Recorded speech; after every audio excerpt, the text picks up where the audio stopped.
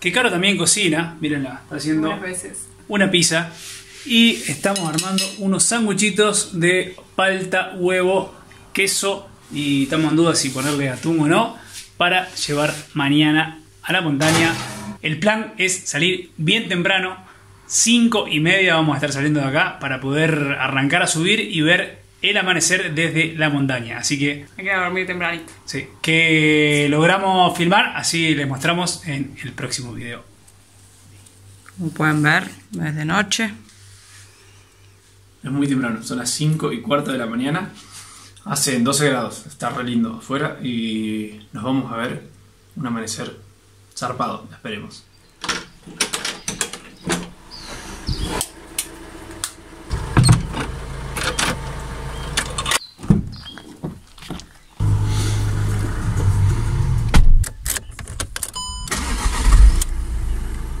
Completamente de noche, son las 5 y 58.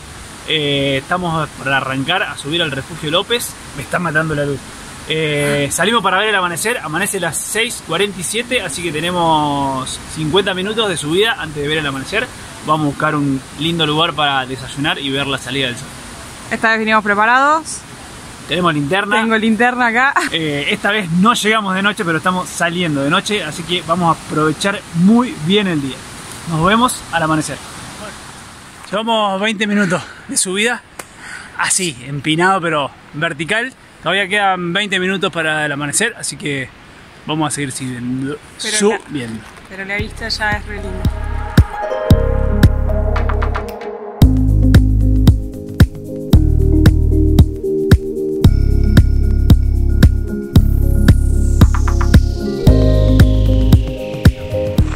Subida es tremenda. Llevamos 45 minutos de caminata.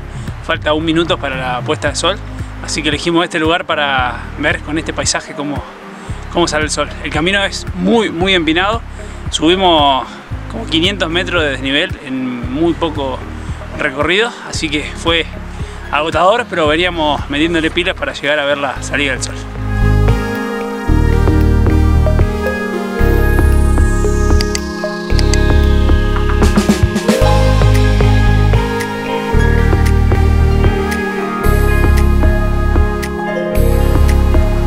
Tiene precio este cafecito.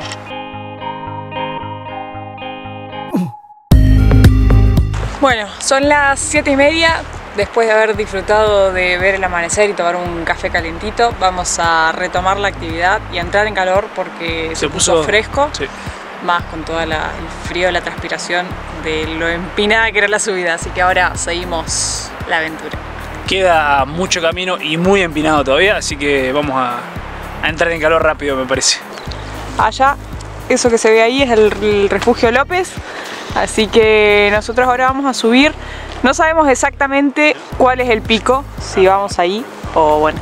Y tampoco sabemos si vamos a poder llegar al pico, sí al refugio, pero hay mucha nieve, miren cómo se ve la montaña. Así que bueno, primero vamos hasta el refugio y después vemos si podemos hacer cumbre o no. La vista de acá se la vamos a mostrar.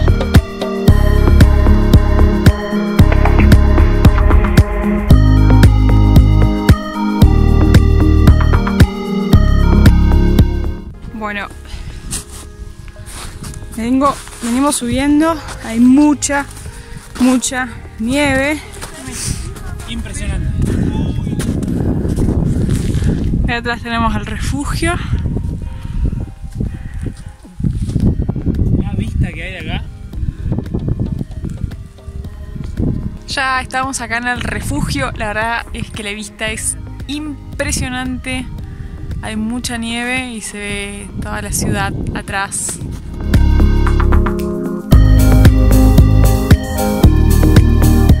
Increíble. Lindísimo, quase caí. Lindo, lindo, lindo. Zarpado. Muy zarpado, che. Bueno, estamos a un kilómetro del pico turista, que es la cima de este trekking. Eh, nos queda poquito, pero queda la peor parte. Hay que subir 550 metros en un poquito más de un kilómetro. Así que a preparar las gambas porque se viene. Hay mucha nieve, aparte blanda, así que va a estar pesado. ¿Para dónde vamos? No sé si vamos a poder llegar, eh, porque no hay más huella. y hay que encarar acá, pero no hay, no hay huella, así que... Bueno, el camino se está poniendo muy complicado. Acá los chicos vamos haciendo nosotros la huella. Yo tengo suerte porque soy la última, entonces ya tengo dónde pisar. Pero bueno, está complicado. Bueno, paramos acá en esta piedra porque es imposible seguir. Y ahora para un cóndor acá muy cerquita nuestro, gigante. Vamos a enfocarlo a ver si se puede llegar a ver. Yo les voy a mostrar porque están todos los fotógrafos, los tres, desesperados para sacarle fotos al cóndor. Y yo estoy comiendo. Bueno, ahí va Ale. Recién fue Ale para allá y ahora fue Santi. A ver si se pueden acercar un poco más. Ahí se ve el cóndor y estamos esperando todo para fotografiar y ni se mueven. Miren lo que es esta vista y tener un cóndor parado a 15 metros. Realmente esto es algo impresionante, una de las cosas más lindas que hemos vivido.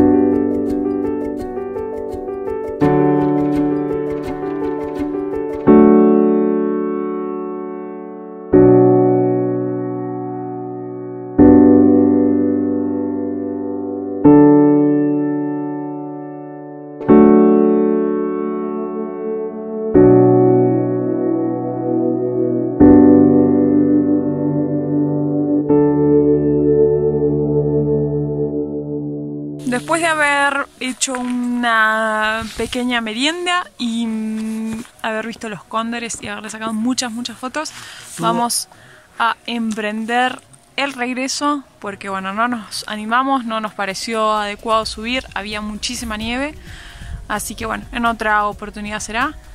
La naturaleza nos regaló, no nos dejó subir hasta la cumbre, pero nos, nos regaló un avistaje de cóndores Tremendo. que nunca habíamos vivido. Así que bueno, ahora vamos a bajar. Bueno, nos estamos por tirar para hacer culo y patín. Está muy empinada. Uh, Vamos. Bueno. Pará. Yo me voy a agarrar de acá. ¡No! ¡Para! ¡Para! ¡Para, culiada! Vamos. Para, ¿eh? Para. ¡Para! Vamos. Sí, que que quiero agarrar bien. ¿Listo?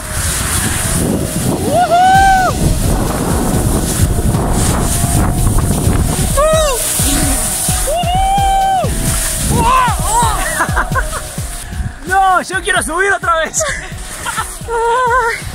Mucho, mucho hielo. Nieve. Oh, para que se me llenó todo nieve. Bueno, este pelo no lo puedo bajar. Estuvo muy, muy, muy Oh. divertido. Ah, Desde allá. Ahí veníamos bajando. Bueno, estamos acá al lado del refugio haciendo una paradita a comer. Los sanguchitos que preparamos anoche. Que por cierto están muy ricos. Y ahí están los chicos también comiendo. Miren lo que es esta vista y ahora se lo vamos a mostrar de arriba.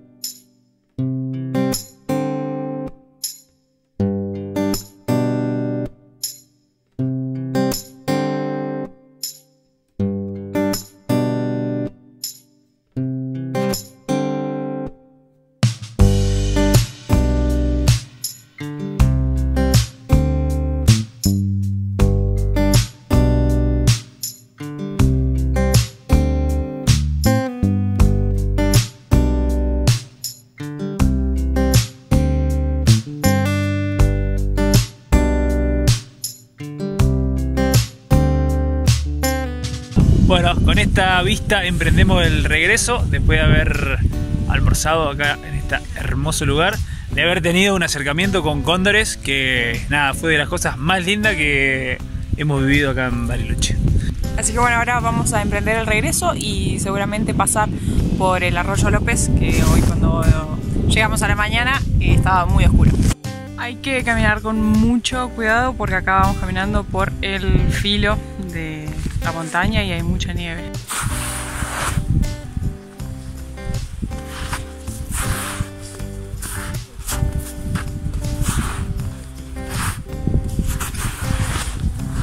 La montaña y todo esto ahí ya es caída libre. Estaría muy bueno hacer culipatín. Che, hay huella de culipatín acá.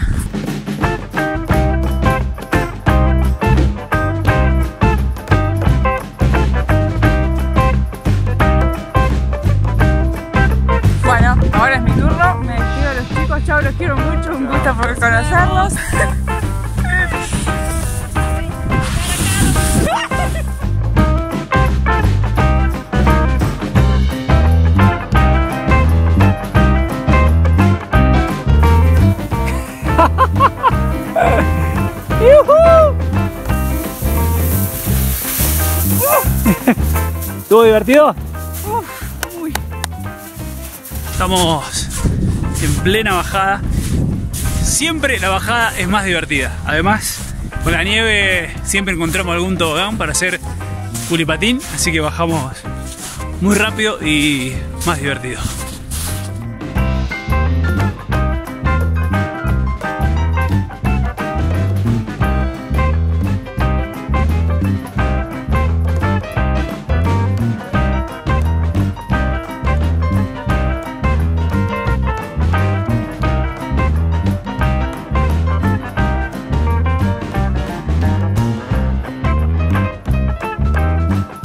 Parte del camino que cuando la hicimos la mañana era de noche.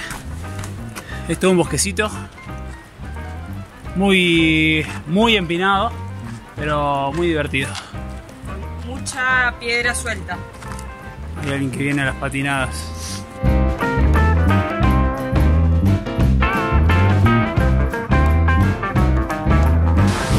Hemos llegado al arroyo López.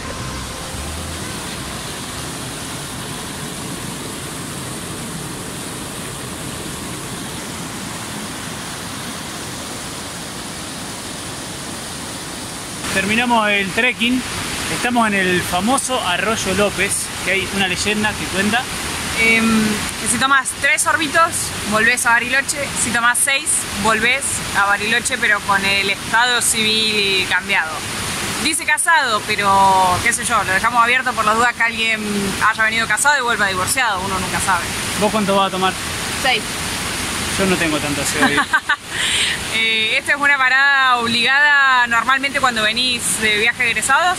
Si hay algún compañero mío, compañera del colegio, hace 10 años estuvimos acá, me llegaron los recuerdos Me de Facebook. quedar como un viejo. Bueno, hace 10 años que vine, Facebook Yo me lo estaba recordando. 15, 16. no ¿En qué año viniste? No sé. Ah. No, está muy fría, más que tres no se puede tomar. Que congele la boca.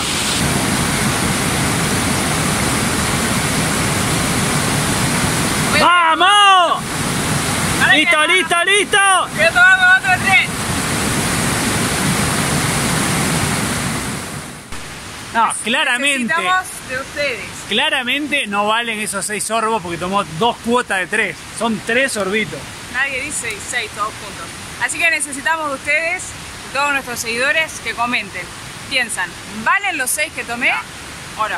Para mí no valen. Los seis son seis seguidos. Así que ningún casarse. Bueno, terminamos el sendero de hoy. Tardamos 10 horas, pero la caminata en verdad fueron 3. El resto nos quedamos disfrutando. Fueron un poquito más de 10 kilómetros. Eh, lo mejor que nos pasó en el día fue el avistaje de los cóndores. Fue algo maravilloso. Nos quedamos con ganas de subir hasta la cima, pero bueno, la verdad es que había muchísima nieve. Esperamos que les haya gustado el video.